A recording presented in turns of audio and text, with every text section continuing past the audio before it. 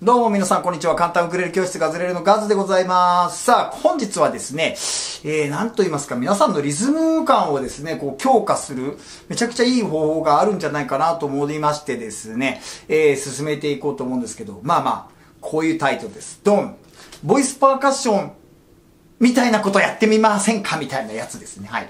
えー、この顛末はですね、僕あの朝毎朝7時半からね、このガズラジというラジオ配信をね、スタンド FM と、えー、ガズラジという別の YouTube チャンネルでやってるんです。聞いてくださいね。毎朝7時半からやってるんですけどね、毎日365日。えー、その中で一回ね、これ、ボイパー面白いよっていう話をしたことあるんですよ。ボイパーって皆さん知ってますか？あの、ヒカキンがやるやつですね。ブン、ツッ、ピー、バツ、ブン、ピー。これ僕好きでですね。もう暇さえあればこのボイパを家でやってんですよね。これボイパがいいのは何にも楽器いらないじゃないですか。で、しかもこのビートに乗っているっていうのは楽しいんですよ、皆さん。で、まあ弾き語りっていう皆さんもね、えー、弾き語りトライしている方はね、ガズレレとかでね、弾き語りやってる方はわかると思うけど、思ったよりこのリズムっつうのが、奥が深いっつうか、つかめそうでつかめないっていうか、案が一番見逃されがちなんですよ。ね、音楽って言ったら大体メロディーとかね、あの、コードとか、歌の歌詞とか、そういうことはすごくこう、スポットライトを浴びてるんですけど、このね、リズムとかこのビートっていうのは、まあ、縁の下の力持ち的な存在で、なかなかこう、スポットライトが当たりづらいんですけど、ね、やっぱりこれ、お家で言うと基礎、基礎ですから。基礎工事が大事なんです。基礎がしっかりしてないと、お家もグラグラになっちゃうからってことで、リズムをですね、えー、ガズレ、リズムをちょっと変な言い方だった。リズムをですね、ガズレレですごい大事にしているわけなんですね。で、ガズレレでは8ビートとか8ビートのチャとかいろんな風な、あのー、リズムをですね、まあ皆さんに基本的なことをこうご紹介しているんですけど、今回はちょっと切り口を変えて、全く別の角度からこのリズムにトライする動画を、えー、撮ってみようかなと思います。そして、あの、ちょっと前にやったこのね、動画、皆さん知ってますか？どんな質問でもガズさんにしてくださいよということで募集したところ、このボイパやってほしいっていう声をいただいて、えー、そうなんですねって言ったら、またやってほしいっていう声が、まあ、あのー、それから続きましたんで、今回はちょっとね、お試しで入門編、皆さんの反響を見て面白かったらもうちょっとね、深掘っていこうと思うんですけど、まあそもそもあの、ガズさんですね、ボイパの達人でも何でもないんです。もう、最初から言いますけど、エセですよ。エセですけど、すごくこう、リズムの大事なことがここにもうめちゃめちゃギューッと詰まっているんで、ちょっとね、あの、基本的なことを今日はレクチャーするぞ、ボイパー。ガズレレボイパーレッスンやってみましょう、皆さん。何にも道具やらないからいいです。ただし、これだけ言っておきましょう。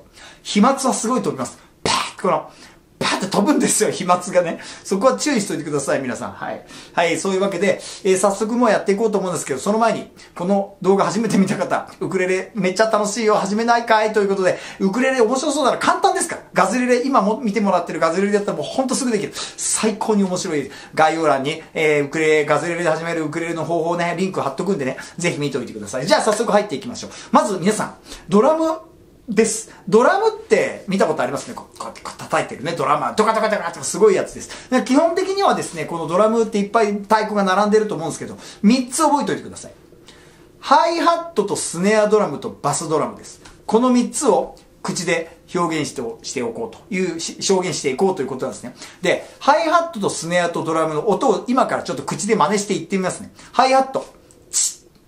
これがハイハットです。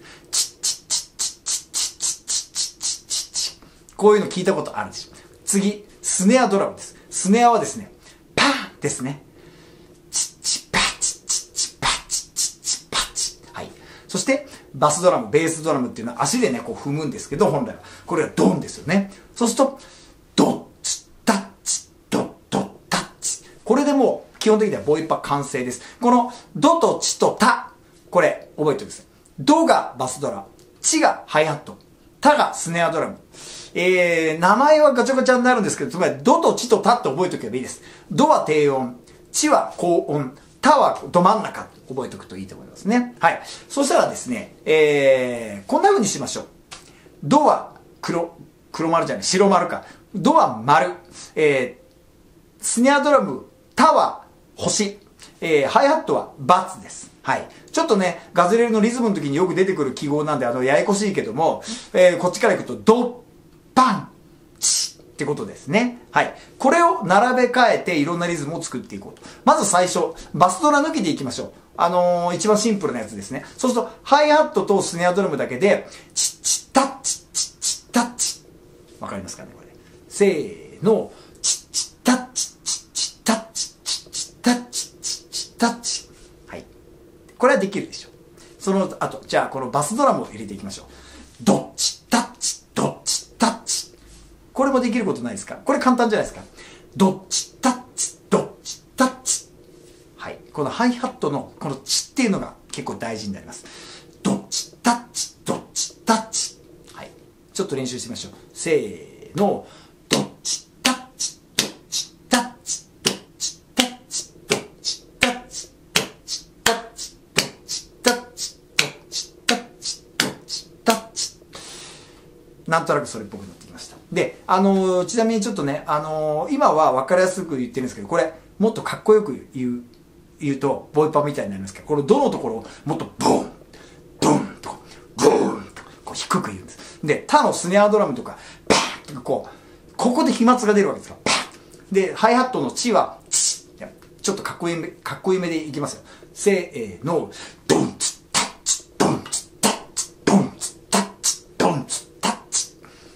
それでこれやってると、息入ってばっかりでから、息続かないでしょ。その時にこの地の時にどっかで吸うんですよ。どっち、タッチ、どっち、タッチ、どっち、タッチ、どっち、タッチ、どっち、タッチ、どっち、タッチ、どっち、タッチ、どっち、タッチ。ね。この地の時に、ハイハットの地の時にこう、吸うんですね。で、しかももうちょっとここで、あの、深いこと言うと、ハイハットっていうのはですね、あの、みんな見たことあるかな？ちょっとここに写真載っけとくけどさ、この上のね、シンバルみたいなのと下のシンバルみたいなやつ、これで、ひっついてんですね。で、足でこう上げるとこう広がって、踏むとこうバシッとこう、こういう、あのー、やつなんですよね。こう足でこう、開いたり閉じたりする。オープン、クローズなんて言いますけど、こういうのがあるんですね。で、あの、このね、もう一個言うと、ハイハットの音だから二つあるんですよ。閉めてる時に叩くと、チッって言うんですね。開いていくと、チャーって言うんですよ。これをうまくこう取り混ぜると、例えばですけど、ドッチ、タッチ、ドッチ、タッチ、ドッチって、今ちょっと大げさになりましたけど、ドッチ、どっち、タッチどっち、タッチどっち、どっち、みたいな。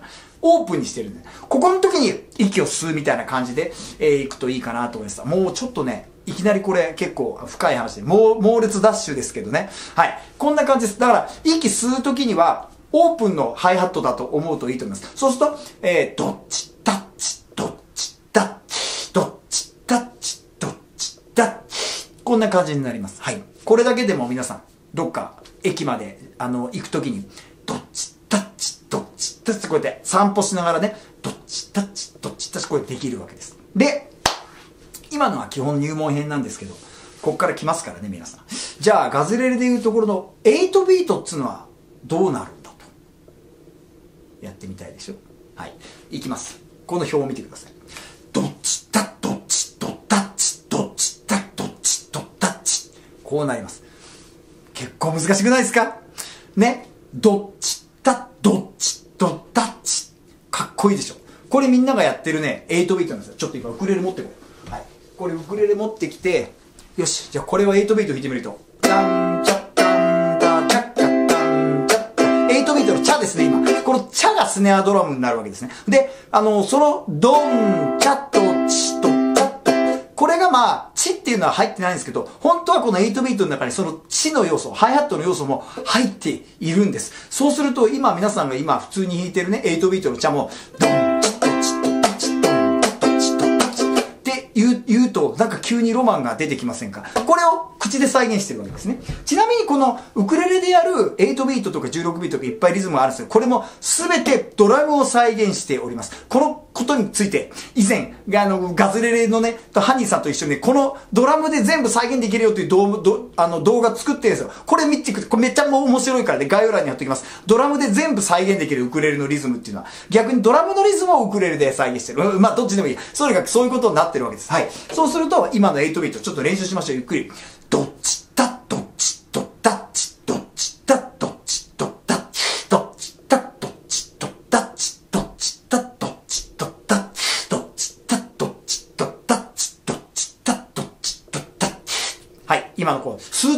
ってんですからね。ずっと吐いていたらですね、酸素が足りなくなっちゃうんで、やめてください。はい。あの、息を吸わないといけないからね。えー、どうかな？これできます？で、これができるようになるともう歩きながら、どっちだ、どっち？だ、とった。なんかどっかで、例えばショッピングセンターとか行って、なんか BGM が流れてきたら、あ、どっちだ？どっち？こうやって乗れますからね。これかっこいいですよね。8ビートってやっぱりかっこよくないですか？ガズレレというところの8ビートって、ちょっとリズム食い込んでるから、どっちだ？どっちどっち？かっこいいでしょ。さっきの、あの、一番最初に習ったやつだと、どっちタッチ、どっちタッチ、どっちタッチ。これから見るとやっぱすごくこう躍動感があるっつうかですね、このバスドラムの位置がちょっと変わってるだけです。あと典型的な8ビートのあのリズムを紹介しましょう。ちょっと並びが変わります。どっちタッチ、ドッドタッチ、ドッチタッチ、ドッドタッチ。これ典型的です。ドラムを練習する人はこの、この順番でいきますからね、最初。どっちタッチ、どっちタッチができるようになったら、どっちタッチ、これになります。で、このあたり、この後ぐらいから、ドッチタッドッチドッタッチドッチタッドッチドッタッチ。はい。ここの、ドッチタッチ。んここが、ガズレレでいうとこの8ビートで膝叩いてねっていうとこですからね。ドッチタッチ、ドッタッチ、ドッチタッドッチドッタッチ。膝叩くところはこれ、ハイハットだったんです、ハイハットだったんです。これ膝叩いてねって膝、ここね、これハイハット叩いてたんですよ。これだけでも結構おもろないですか？これだからボイスパーカッションって、あの結構リズムのね、あ、そうなってたのかって結構気づくですね、一個の要素になると思いますね。はい。えー、で、えー、さっきも言ったけど、やっぱこのドラムを言うときは、ドッタトチトドチタチトドってことで言うよりも、やっぱり迫力ある方がテンション上がるわけ。ドッタトチッタツドンタットチッタッもっとこうマイクとかでやるとね、飛沫がすごいんですけど、かっこいい、この、どんな風にしたらあの音が出るんだろうって、ブーンとかさ、ブーンとか、なんかいろいろ、ボイパンのすごい人で、ヒカキンとかすごいじゃないですか。まあ、あれはこの後お楽しみなんですけど、基本的にはこういう構成になってるんです。だから、ハイハットとスネアドラムとバスドラムだけ、この3つで、まずはいいです。ということですね。もうちょっと8ビートで練習してみましょうか。ウクレレ弾きながらやってみる。1、2、3、4。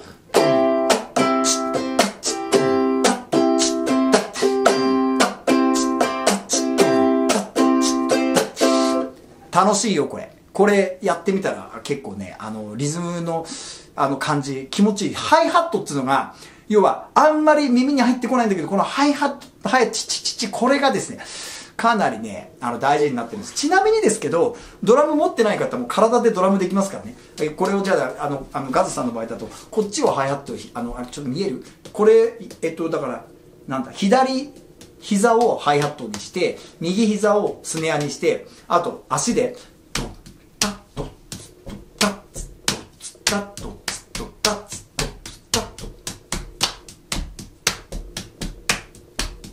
ドラムってこうやってやってんですよ。はい。まず、これはちょっとね、話が違うけど、これ口がで、口でできるっていうのはこのボイパのいいところ。何の道具もいらない。で、リズムをいきなり生み出せるわけですよ。あー、ちょっとリラックスしようかな。ドン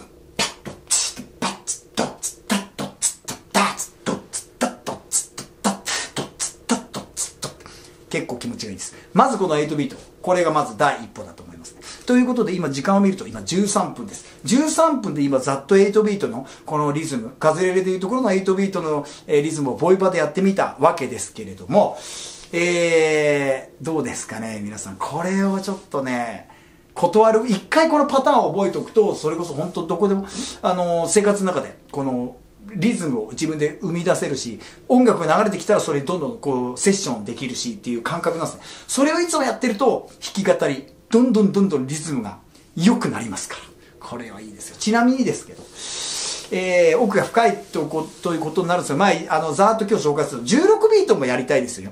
そうするとまあまあ、いろんなパターンがありますけど、ガズレレっぽく言うとですね、んな感じかな。ちょっと急に難しくなるんですよ、16ビート。だから最初これをやるとみんな、うわーってなっちゃうんだけど、まずは8ビートでいいよ。ドッチタッ、ドッチ、ドッタッチ。これから始まって、ドッチ、タカチ、ドッチ、ドッチ、パカチカ、今度はパカチカ、パカチカになるから16ビートだから、チャカチャカって18、8ビートのかける2で16だからね。ドンツッパカツ、ドツッボン、タカチボンツッパカツ、パツカボン。こんな風これはやっぱ16ビートって口で言ってもやっぱり難しい。口がこう、これがハイハットですからね。チクチクチクチクチクチクチクチクブンツッパクツタツボコチクチクブンツッパクツパスブンと。これ急に16ビート難しくなるから、まあ、今日のところはもう8ビートで、えー、やってください。これだけでもですね、この基本分かったら、えー、いつでもどこでも音楽できる。例えば、お仕事しながら、えー、会社のデスクで、なんかこうやりながら、とこうリズム自分でビートもうビートにまみれてる人生なんて素敵だったと思いませんか？今までビートがない世の中に生きていたんだみたいな感じになりますから。僕もなんだかんだ言って車運転する時いつもドンチとバンもうすごいんですよ。もうビボイパが。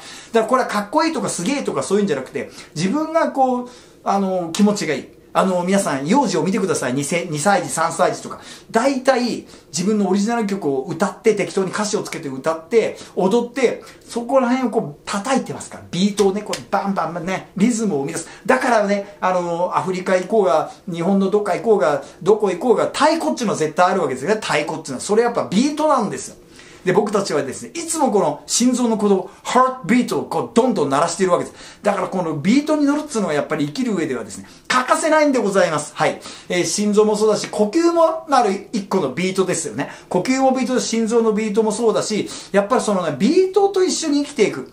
いいこと言った。で、そのこの感覚を自分の好きな音楽、自分の奏でる、えー、曲に、こう、エネルギーをさらに注ぐというね、その、エモいやつなんですよ、リズムができるっていうのは。なんで今日は、ちょっと体験編として8ビート、えー、の基本のやつをやったんですけど、今のでね、結構ね、あの、わかりやすかったじゃん。自分で言うのもなんだけど、こう、伝えるのがね、ガッツさん結構上手な方なんでですね、ぜひやってみてください。いろんな曲、口で言う、流れてきた曲、全部8ビートで言ってみる。こういうの楽しいですかね。ぜひトライしてみてください。お知らせです。11月11日、ガズレレの日のイベント、えー、チケット sold out になっております。皆さんありがとうございます。で、なんですけれど、えっ、ー、とね、10時半から11時半までの間に、この G ラボのウクレレたち、もうすべてのラインナップ、えー、G ボックスのアンプとか G ソリッドのエレキウクレレも含めて、思想できる、誰でも参加できるポップアップショップ、チケットもいらないです。無料ですからね。を、同じ会場で行います。えー、東京渋谷にある東京カルチャーカルチャーというめちゃくちゃいい、イベントスペースなんですけど、えー、ぜひ皆さん、あの、チケット取れなかったなとか、ウクレレ、ガズのウクレレ、G ラボウクレレ弾いてみたいという方、ぜひお越しください。なんですけど、注意点があってですね、12時から本番のイベントが始まるんですよ。なんでちょっとね、ギリギリに来るともう試し引きでき、できないかもしれないんで、早めに来てください。あの、追い出されちゃいますね。ちょ、申し訳ないけど、ちょっとね、次のあの、本編のイベントの準備とかその流れがありますからね、そこら辺だけちょっと注意点をちょっと、えー、お伝えさせてもらっておきながらも、えー、そういうこともあります。で、チケット持ってる方、もりもり楽しんでいきましょう。これはですね、もう課題曲も設定してますからね。課題曲とかね、発表してる動画 URL、えー、概要欄に貼っておくんで、これも、えー、チェックしておいてくださいということで。えー、で、あのー、そのイベントとかポップアップショップに当日来る方はですね、渋谷の駅から歩いてくる途中に、ドン、タット、ツッタッタン、ドンってこうやって、こうやって歩いてきてください。ビートを刻みながら、ガズレレイベントに来てください。ウクレレ持ってきてくださいよ。ということで、えー、お伝えもさせていただきます。そしてですね、皆さん、あの、や、やってみてできたかどうかとか気持ちいいかとか、そういうののね、感想もね、えー、コメント欄にいただけると、すごい嬉しく思います。みんなのね、えっ、ー、と、感じもちょっと聞いてみたいなと思いますね。よろしくお願いします。そんな感じで今日のガズレレッスンはちょっと番外編、ボイパをやってみようでした。それではまたお会いしましょう。バイバイ